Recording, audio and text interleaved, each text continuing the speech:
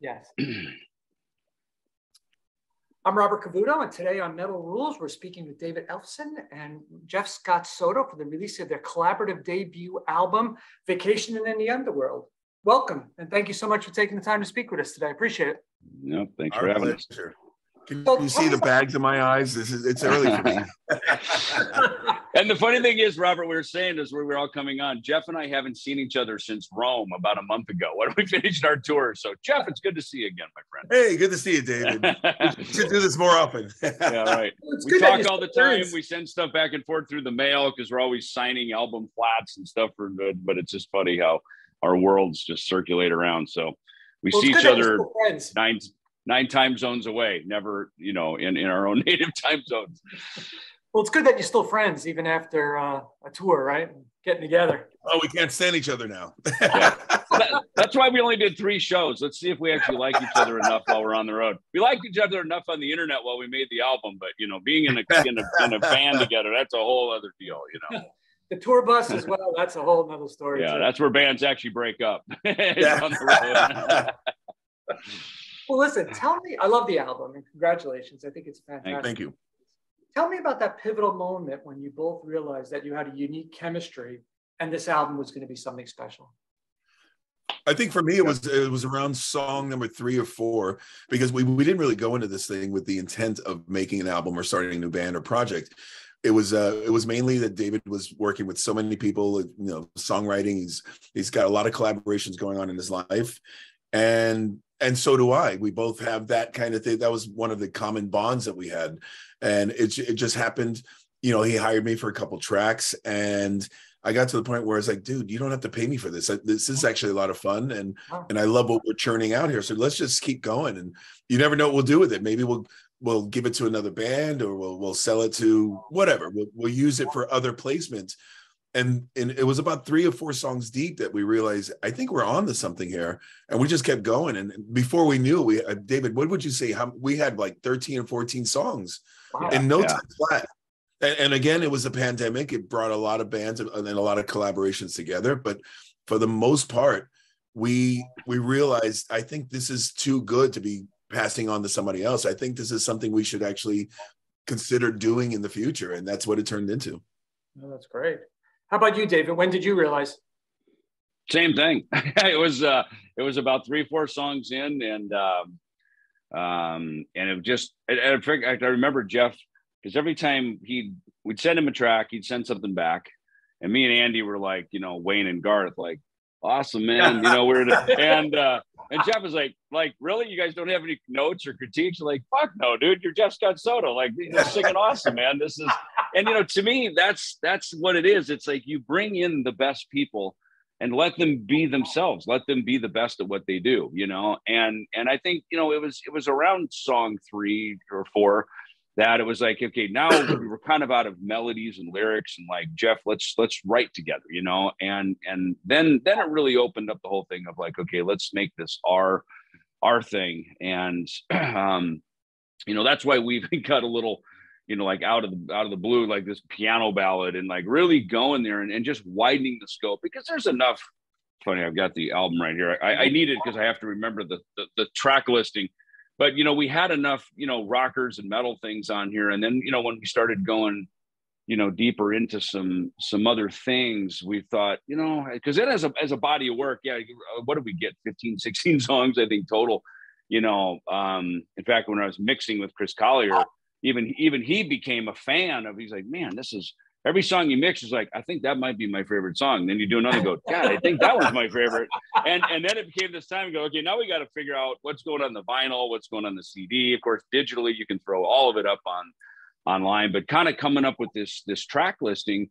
And and certainly Vacation in the Underworlds, I think, just was the natural fit. It, it was such a great sound. I think it was really, you know, if you think of what is David Ellefson and Jeff Scott Soto going to sound like? I think that yeah. just that's it, man. That's that's the sweet spot. So that, that be, yeah. yeah, and it's a cool title.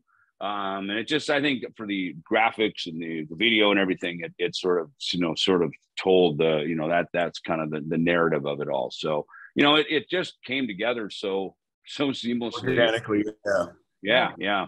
Yeah. You know, David. And, and I, just, I, just, sorry to cut you off. I just no, wanted to add just the fact that it, just tapping on the what David just said in terms of you know J- Jeff would send a, a track completed and and we were like thumbs up, you know, party on Garth, party on Wayne. that made it more exciting for me because I've been part of so many recordings and collaborations in the past where it's been a a tedious process. Okay, you write something. Okay, I think it's close. Uh, we can tweak it. We can do this.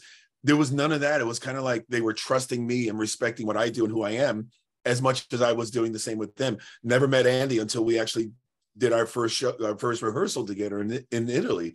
But I trusted David, having known him for so many years. I res- respected and trusted his judgment on the people he was working with that it just it it kind of happened so organically and, and respectfully and that's that's a key word there it didn't it didn't feel like work it didn't feel like effort it just felt like a natural process of creating mm. and and everybody was so stoked in the creation we could we were looking forward to the next one and the next one and and again as he said every next one that was being mixed with chris or or even playing to others or when we were even playing it for labels this song is better. That's my favorite. No, now this one's my favorite. And even trying to select the singles, it's a great problem to have. It, it really is, and I love when those those kinds of things fall together because there's so many. And David can attest to it. So many other ways that it's been done, and and you get so used to that that kind of cluttered world of oh, I can't, I don't want to go through this process again. And and we didn't mm-hmm. have to with.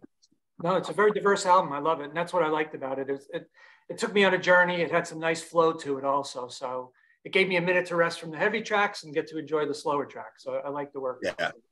You know, David, when you and I spoke for your book um, a couple of years back, I guess, my, my Life with Death, you said that saying yes to um, opportunities and jobs really improved your life. Was this a moment where it was a yes moment for you?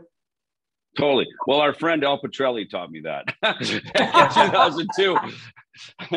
Megadeth had disbanded and uh, he was just previously in the group and had gone back to working with uh, Paul O'Neill and Trans Siberian Orchestra full time again. And uh, you know, in his thick Bensonhurst accent, he calls me up and goes, "So, uh, listen, uh, this is how this works now. Uh, you just say yes to everything, you know, and uh, better, better, better to be double booked than underbooked. And you know, once in a while you get your ass in a sling, but you can get yourself out of it. That's you know. And so he kind of gave me the whole rap. Oh my because, god! You know, he'd been a sideman with uh, you know Alice Cooper and all these big gigs, and and you know Al came in to save the day for Megadeth when Marty Friedman had uh, quit the group, and so I trusted Al's instincts, you know, and still do to this day. And of course, you know, he's our mutual friend.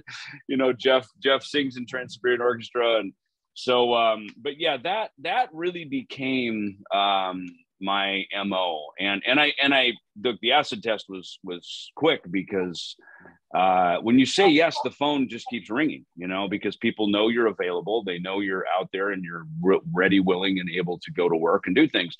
As soon as you say no, even once or twice, man, it's like the phone just quits ringing. I mean, it goes dark quick. Amen. And it, I, right. I agree. Right. And, and, and, I'd had the luxury of being in one band for, you know, since I was 18 years old, you know, with Megadeth for almost 20 years. So I never had to say yes or no to anything. I just was in one group and that's all I did.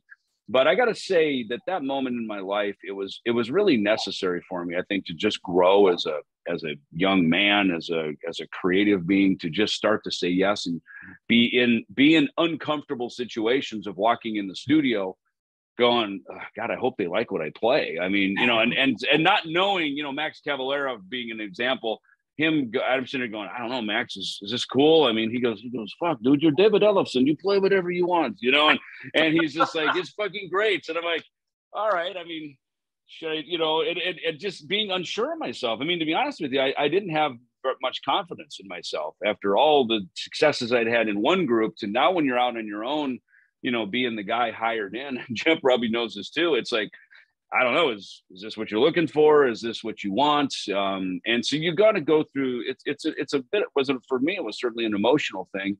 And I, I tend to be a guy who starts things. I mean, I've done, um, very little going out and playing with people and and, I, and I'm totally open to doing it and my my phone book is always open for that but for some reason life kind of sends me these things where in this case me and Andy Martongelli were considering writing you know kind of the Ellefson solo record number 2 and that's where the idea came in. Like, all right, well, who's going to sing on it? And you know, Andy, Andy's got good instincts. I mean, he's the one who said he goes, just fucking call Jeff. You love the guy, you love his voice, and like just call him. And you know, and and I, I, was kind of afraid. Well, what if he says no? What if he turns me down? What if he's too busy? You know, and get it was just that moment. And so I sent Jeff writing on the wall, and of course that got this whole train out of the station. And and Andy said the same thing with the label. He goes, um, a little over a year ago, he said, he goes, dude, call call Joe at Rat Pak, man. I just played on something with him, and man, he's a great label, and he'll totally know. That. And say so. I sent it. I called Joe. We'd known each other about ten years, and had been talking about doing stuff together. And I said, dude, I, I think I got one for you that's cool. And he, I sent it to him. Literally called me back like like within a day. And I mean, we worked the deal out within about two city blocks driving down Shea Boulevard by my house. and uh, but um, he uh, you know, so Andy, you know, again, he's a guy I go to and I trust, Andy Martongelli, you know, and and you know, really the album should probably say Ellefson Soto Martongelli because you know he's he's he's he's definitely the third Beatle on this one.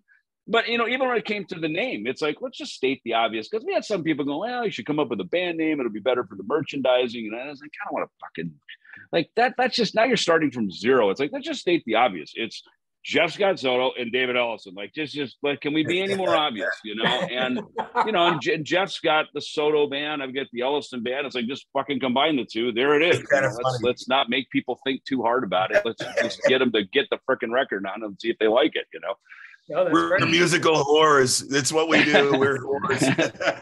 well, we you know, musicians, our names out there. you know, mu- musicians, musicians play music. You know, whether you're a singer, a bass player, guitar player, that's what we do. You know, and and I, I think at this point in our lives, you know, the fact that we still get to keep doing it is awesome, and you become better because you're you know you become a bit more seasoned as a veteran in the business, and you you know what works. You kind of know.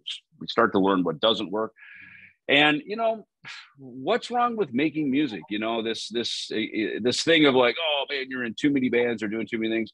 According to whose rule book? I mean you know what i mean? It's like and and and like jeff said you know covid was a moment where everything was shut down and it was kind of like 9-11 none of us knew what it was how how, how serious is this? Is it going to last forever? Like what is this? And i don't know i think for for a lot of us it's like hey we're home we got home studio capabilities. It's like let's call our friends and just start freaking writing songs and making music. I mean, that's what we do. That's what kept us, that's what kept us from going down the rabbit hole of negativity.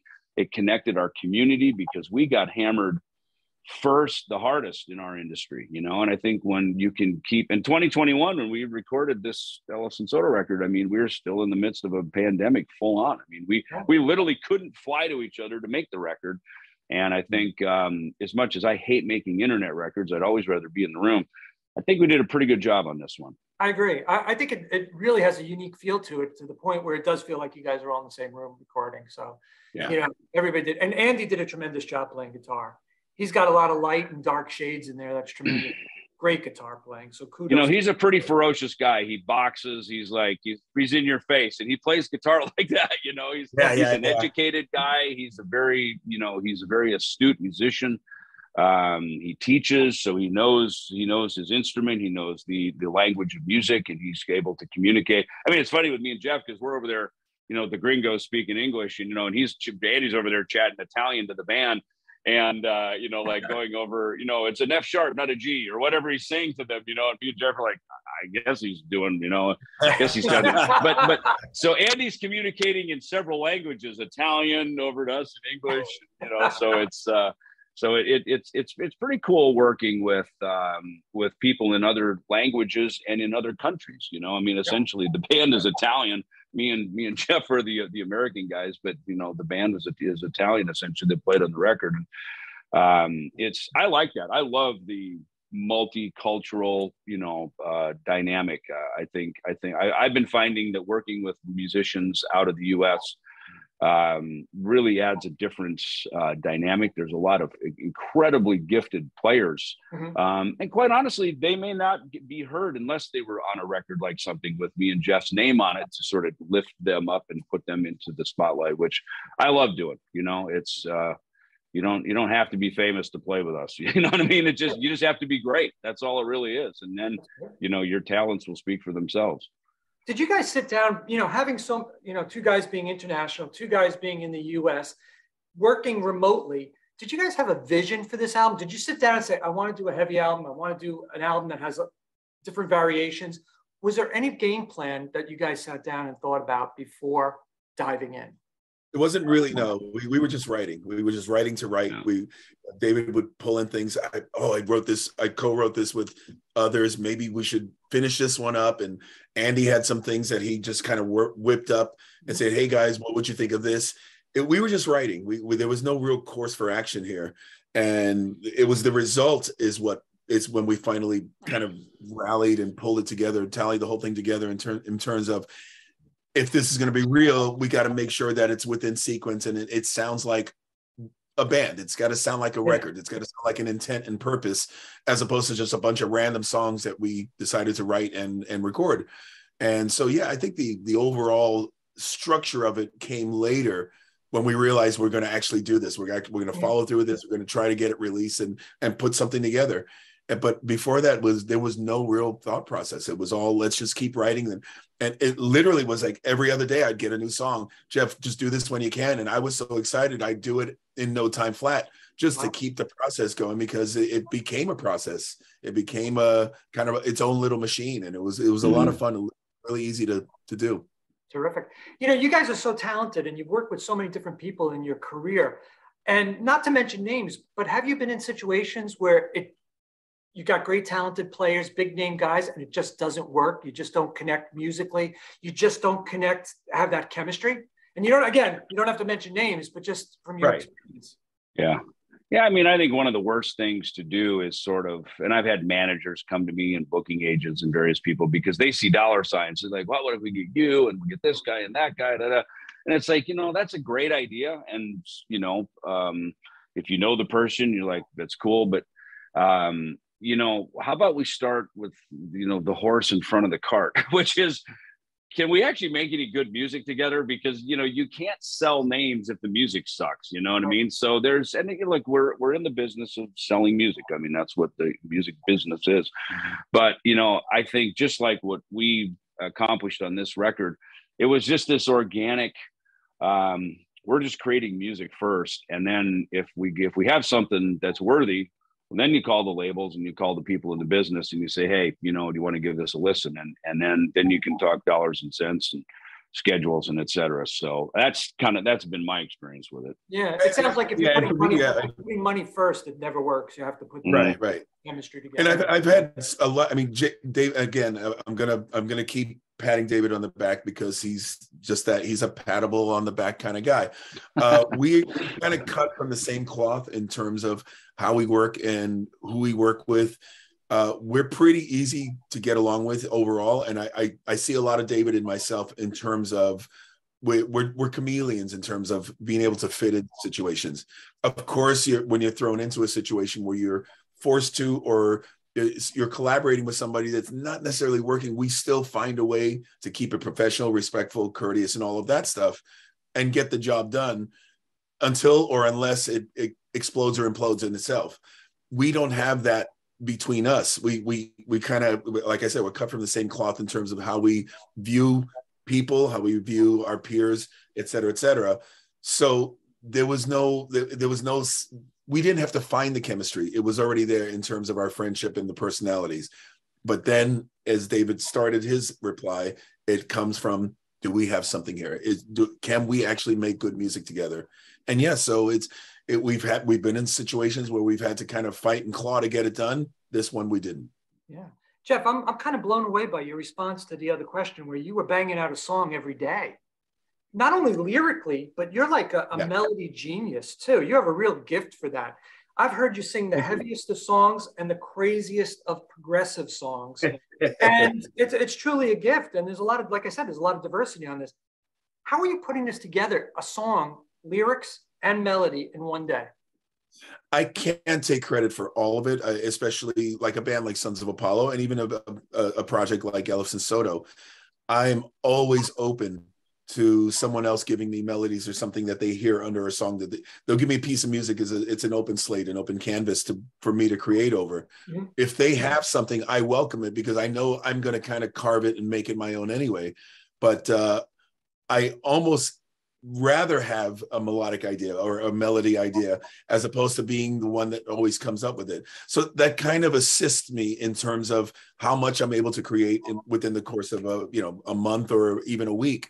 If I have kind of a bitmap, I, I create a lot faster. I can write melodies to I mean I can write lyrics to somebody else's melodies that are already there and vice versa. Somebody gives me lyrics, I can kind of form a melody to, to make sure those things fit as well and, and David and I, there was a lot of back and forth in terms of like he would send me like extra lyrics. It would be like extra context that I could have used. And he said, you can either go with this or go with that. And it was great that I could get any any input is always welcome. And of, of course, as a singer, I always get the I get the credit for it, but it's not always the case in terms of especially in Ellefson Soto. Andy would send me melody ideas. David would send me melody ideas. And of course, I would come up with my own. And that makes the process a lot faster and a lot smoother. But it also makes it a lot more diverse because it's not just all coming from me. It's it's something I'm, I'm actually able to carve and create based on somebody else's idea. It's a real band at that point, you know? Yeah. You're doing that. It's all collaborative. David, did you write a lot of lyrics on this?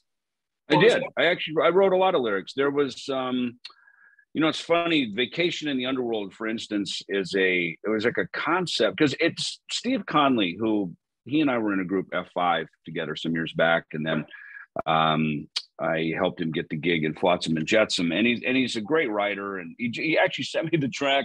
He said hey, it was like one of these COVID, you know, you want to play bass on this, and he sent it to me, and I played bass on it, and I went, listen, I'm starting to work with Jeff Scott Soto on some stuff. Do you mind if I have him throw a lyric on this? I think this is or throw a vocal on it. I, I think this is better than just a COVID YouTube track. And uh, Ken Mary's actually playing drums on it. Right. Um, and so that's one of the only ones that was sort of brought in. Uh, with that and the Revolution, actually, Steve brought the music in for that too, and I, I love both of them. I thought they were very cool, and so I, I asked his permission to, you know, for to throw them in the in the mixer with these. And so with Vacation, I had kind of a rough lyric idea and I sent it to Jeff. I said, What do you think about this? And he said, Dude, I got this. And he just took it from there and and wrote and wrote the rest of it. Um, and and including the melodies, you know, I kind of had a little bit of how about if we sort of like sing here and here and here and that kind of stuff. So sometimes I would do those suggestions, but then, you know, just let Jeff take it. Like a bullet is another one. Uh, it was kind of a rough idea um, and and I'll never forget it because I was actually in Nashville and I was on the life cycle at the hotel and had my phone with me and all of a sudden he's Jeff sends it through. He goes, check this out. I'm listening to it. I'm going, holy shit, this is amazing, man. I was, I you know, and you know, from there I was like, I don't know, let's tweak a word or two here and there, no problem. And you know, so you know, some of these things, I think probably the one "Sharpen the Sword" is a song Andy wrote musically and it was a real powerhouse reference. yeah, right. I know. I'm looking at it like here um, and it and it's it's it's funny because uh, it was a powerhouse song, and and I think that might have been maybe the kind of the after Jeff sang on "Writing on the Wall" uh, for me, which was kind of our introduction to this whole thing. I think that might have been. I talked to Andy. Go, I don't know. Should we send him this one? What do you think? Again, it was kind of this. Let's see what you know. See if he even likes it. And he sent it over, and it came back. And I think that was the one that really turned up the gasoline as far as okay this is bringing Jeff back to, I think, as a fan of Jeff's and the old school kind of power metal thing. This one really put him back in that centerpiece of that. And, and, um, I can't even remember. I, I guess, I guess there were some lyrics maybe, but you know, it, it's, it, it's, it's collaborative, you know, just the same way you'd be in the room, you know, um, throwing ideas back and forth, uh, having this musical conversation, you know, we were able to have that same conversation virtually um, again by way of quarantine at this at this point. But to just uh, hey jeff what do you think of this one? And then have it come back and go with harmonies and everything going holy shit man. It's like this thing is like completely fucking stacked up with like kick-ass harmonies. And and and you know i kind of forgot about some of the harmonies until we were learning the songs to go on tour yeah. last month. And then jeff's like hey by the way is anybody gonna sing these harmonies? Like oh shit that's right. And it's it's my nature I always say I'm kind of the Michael Anthony guy. I sort of go for like sort of the you know the third or fifth, kind of the higher. That's just been my nature growing up as a as a kid, as a bass player. I always kind of grabbed that that harmony, and and it was funny. We kind of found it through even just three shows and a couple rehearsals.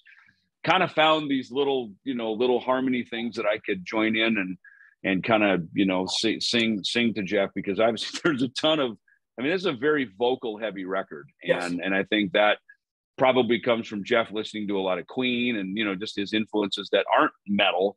Um, it brought a it, it brought that in. I mean, I, I you know would say that I think when when we sent stuff over to Jeff, he would bring back a finished product. It wasn't just sort of ah, well, I just sort of scattered a sketch of an idea. What do you think? It was none of that. It was like fucking. It came back done, and and that's why we were so impressed by it.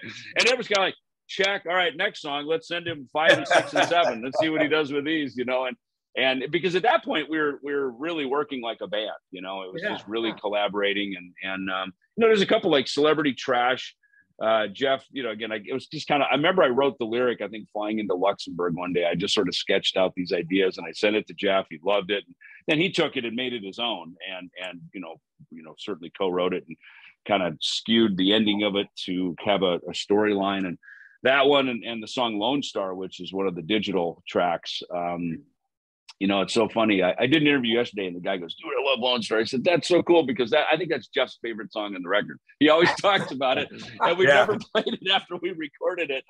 And but it's just kind of this this sleazy, slinky, groovy kind of tune, and you know, um, so it, it, it's funny which ones you know kind of become our own personal favorites Yeah, either right. through you know how we created it or just the outcome of it.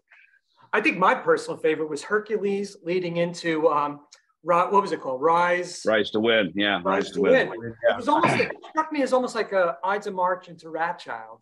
Um, Yeah, When you play that, are you going to play that back to back? Because I think it works from the bass intro, you know, to the previous song.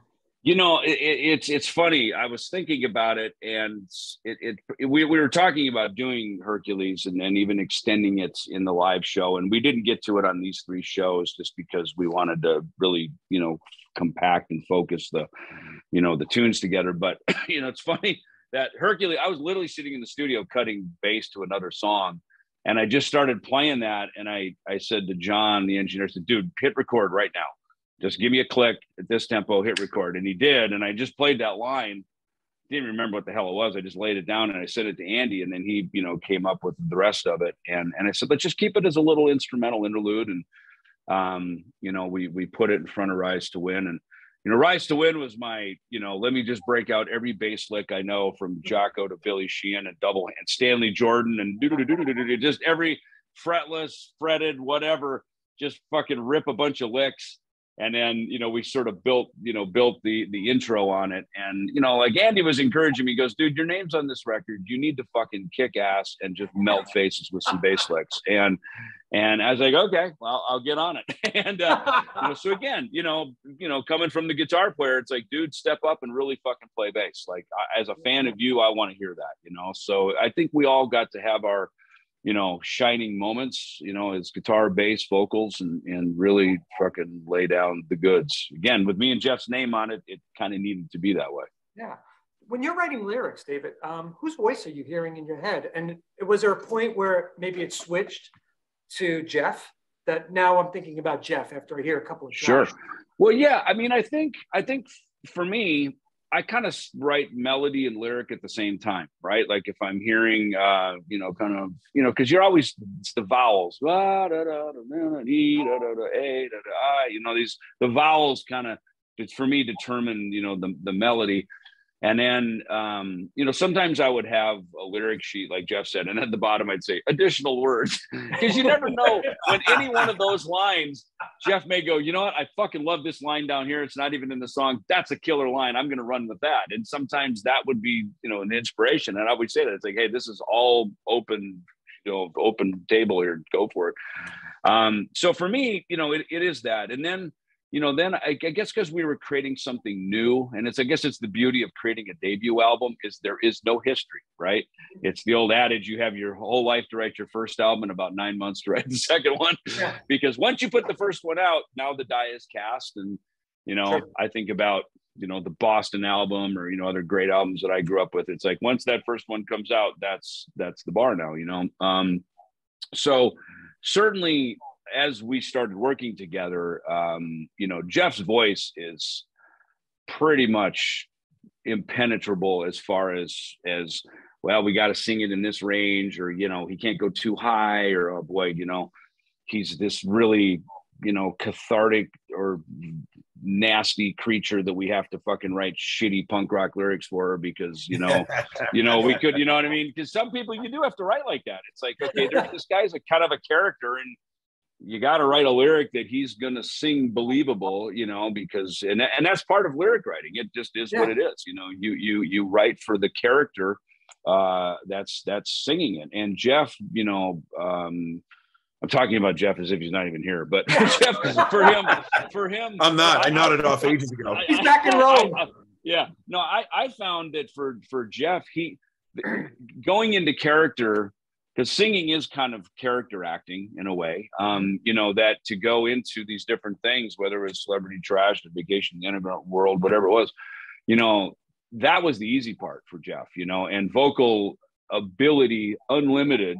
So it was just kind of like I could I could kind of throw anything over to him and and and he would make it his own and bring it back and and you know having a voice that's very recognizable you know that when you when you hear jeff sing you know it's him you know that's that that was the easiest part of the whole thing quite honestly um, for me as as on any lyrics that i wrote on this thing that's cool you know you guys are two of the hardest working musicians i could think of and um, there's a quote from when i was a kid evel knievel used to say it he goes um, you never fail, you're never a failure until you fail to get back up. And you guys always are very resilient. You always get back up in your musical careers. Tell me individually about those pulling yourself back up and getting back up on the horse. I, for one, uh, I, I started in this business with the I'm never I'm never going to stop. I'm not, I'm never going to quit. Mm-hmm. The resilience factor was at a, such a high level when I started back when I was 18. I started professionally with Yngwie Malmsteen, and I knew I had a mission. I had a mission to complete. I've not even come close to completing that mission.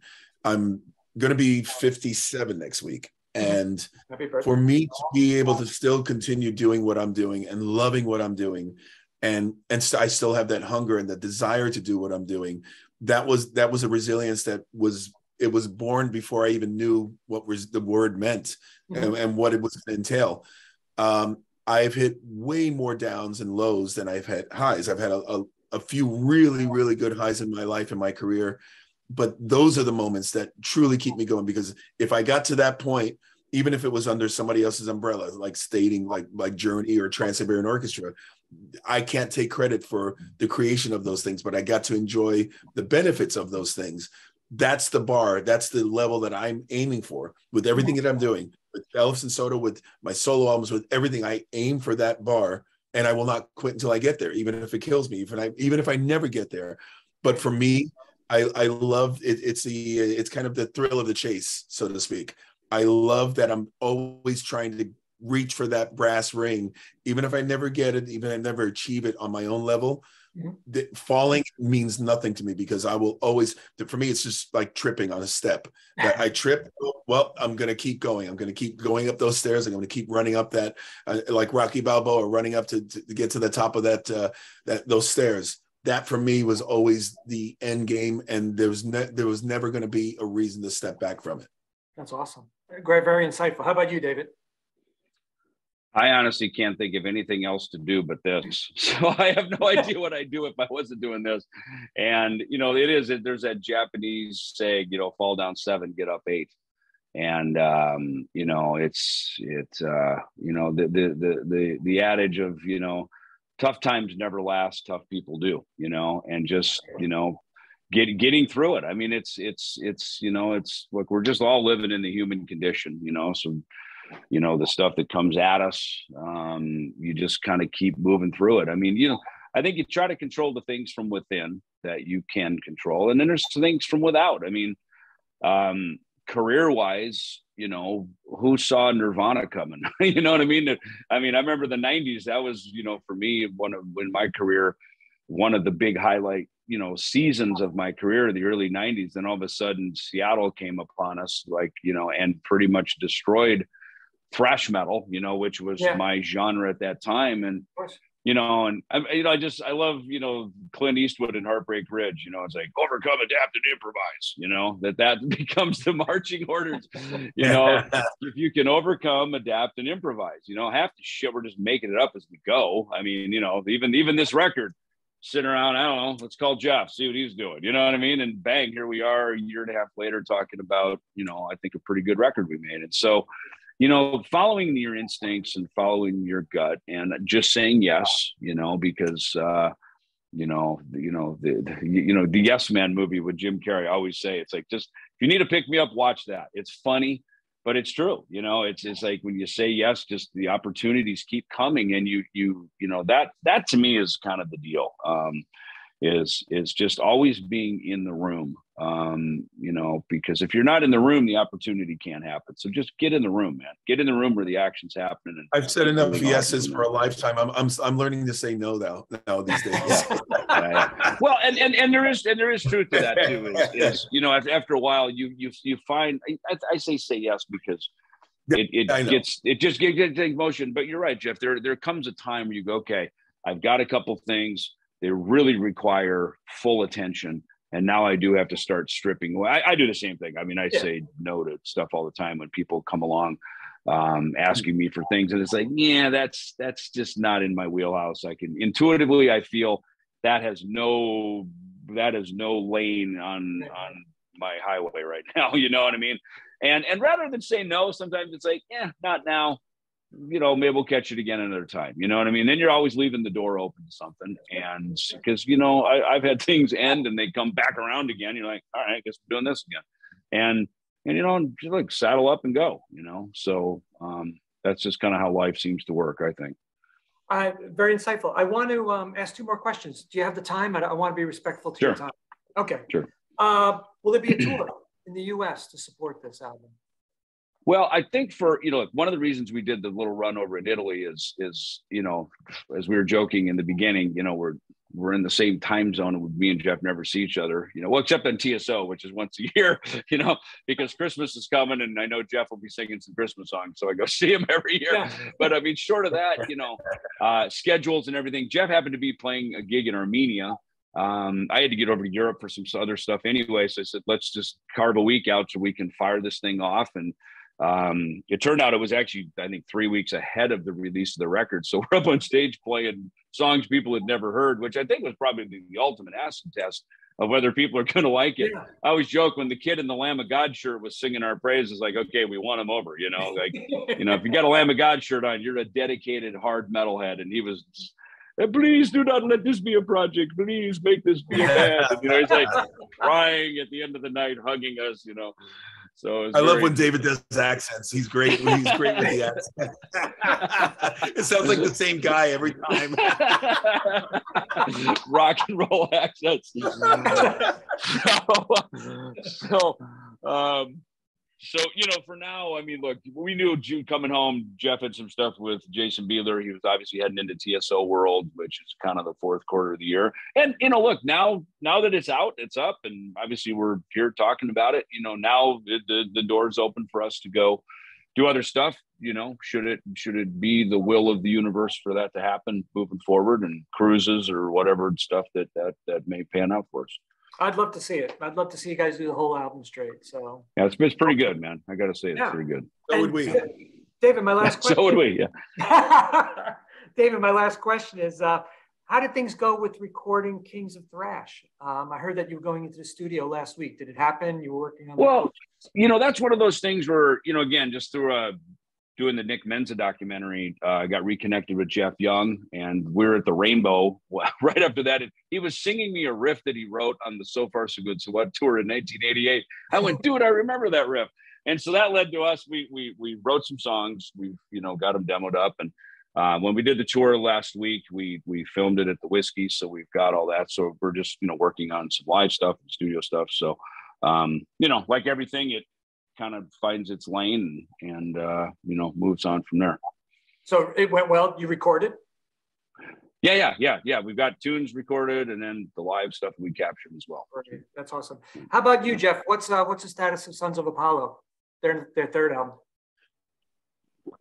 Well, at the moment, we we're laying dormant because uh, as the rest of the world is is waking up, and we were all on, on a kind of holding pattern. It uh, everybody's diving back into their other day jobs. You know, Mike and Billy have winery dogs, Black Country Communion. All these bands were basically waiting they, we, we we always base our our opportunity our windows of opportunity to when we have time to tour and, and create and make new albums et cetera et cetera uh 2020 was supposed to be sons of apollo's run out and then 21 was going to be you know the next stages for where everybody else already exists but obviously we were able to kind of complete some things for sons of apollo this year but next year is a wash because we got winery dogs black country communion i'm doing I'm doing some other things. I'm, I'm pretty sure it's going to be another W.E.T. album. And David and I have already discussed. They, I think they've even written the whole next Ellefson Soto wow. record. So I think that's going to be more of a focus than the other things right now, just because those guys have to play catch up as well as the rest of the world. And so if there's anything with Sons of Apollo into the future, I'm imagining it's not going to happen until 24. Okay, great. Well, I, I, look forward to that. Guys, I want to thank you so much for your time. It was such an insightful interview, and I really love the album. I can't say enough great things. And hopefully you come to New York real soon, and I, I get to see you, you guys play. It's supply and demand. Cool. You know, we're looking forward to. We want world domination on this record in this band. You know, we we want the world yeah. to love it, but obviously we're not. We can't force a tour. You when you the age where you don't want to be uh, sleeping in a van and, and and and or doubling up in a, in a crappy hotel room. We've we've lived those days. We we're beyond those days. We want to make it so we know there's a demand, and we would absolutely go out and meet it. Great, great. Well, thank you so much, David. Thank you so much. Cool. Jeff. You're welcome, Robert. Yep. Awesome. Good to see you again, Jeff. You too, David. stranger. okay. Bye, bye, guys. See ya. Take care, guys. Bye bye.